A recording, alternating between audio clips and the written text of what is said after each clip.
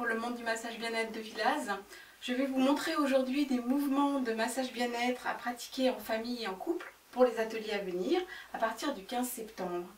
Vous retrouverez toutes les informations sur mon site internet. Alors maintenant, place à la relaxation.